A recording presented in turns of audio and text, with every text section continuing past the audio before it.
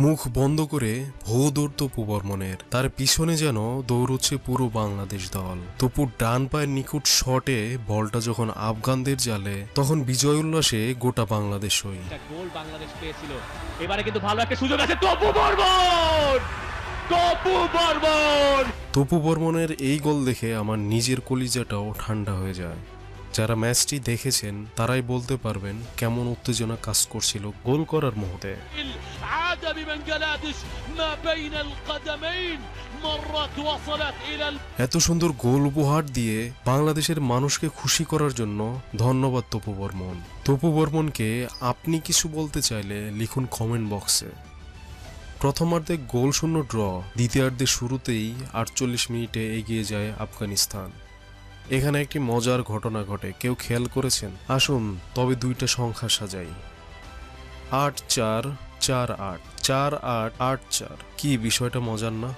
এই সংখ্যাগুলোই ছিল দুই দলের গোল করার সময়। আফগানিস্তান যখন গোল করে, তখন ম্যাচের সময় ছিল আটচল্লিশ। আর বাংলাদেশ যখন গোল করে, তখন ম্যাচের সময় ছিল চুরাশি। এবার ফিরি ম্যাচের আলাপে। ডান প্রান্ত থেকে আহমদ নাজিমের বাড়ানো পাশে বক্সের মধ্যে বাম পায়ের শটে গোলটি করেন আমির শরীফি। এরপরে বাকিটা সময় দুর্দান্ত খেলেছে বাংলাদেশ।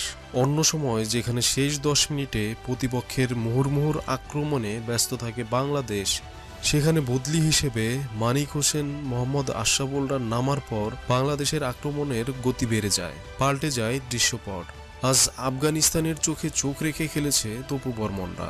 আফগানদের আক্রমণ সারিয়ে উল্টো আক্রমণ করেছে বাংলাদেশ। চৌরাশি মিনিটে সেন্টার ব্যাকে তপুর সমতায় ফেরে বাংলাদেশ।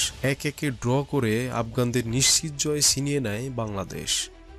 বিশ্ব ফুটবলে একশো উনপঞ্চাশ নম্বরে অবস্থান করছে আফগানিস্তান, আর বাংলাদেশের অবস্থান একশো চুরাশি। প্রথমার্ধে মাঠের খেলায় আফগানদের এগিয়ে থাকা একদম পরিষ্কার।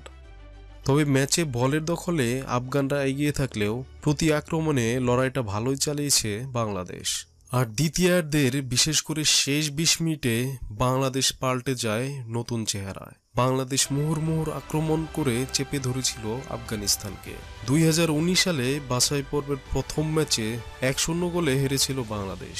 প্রায় দুই বছর পর আজকের ফিরতি ম্যাচে সেই ম্যাচের একাদশ থেকে খেলেছেন কেবলমাত্র ডিফেন্ডার রহমত মিয়া, মিডফিল্ডার জামাল ভুঁইয়া, সোহেল রানা এবং উইঙ্গার বিপুল আহমেদ। এই ম্যাচে বাংলাদেশের জার্সিতে অভিষেক হয়েছে ফিনল্যান্ড প্রবাসী তারিক কাজীর।